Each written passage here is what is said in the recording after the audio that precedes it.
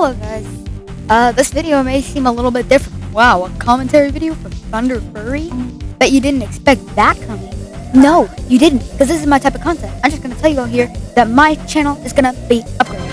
Now, this, means that this doesn't mean like I'm gonna become like a whole new channel. I'm not gonna be one of those loud and annoying YouTubers. I'm probably just gonna have some more complex and nice edits. Because Banana Man says my editing is trash, and I completely agree with Banana Man there. Uh, so don't give any hate to Banana Man.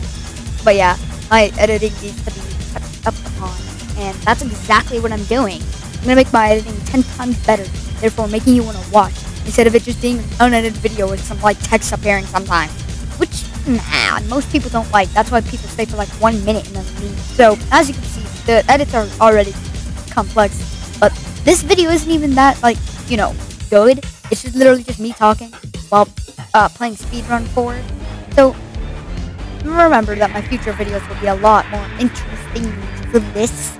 Um, yeah, that's pretty crazy. I know, right, man? Uh, uh, so expect more from the ThunderFurri channel on youtube.com slash at. And stay tuned for a, a lot, a, a lot better content.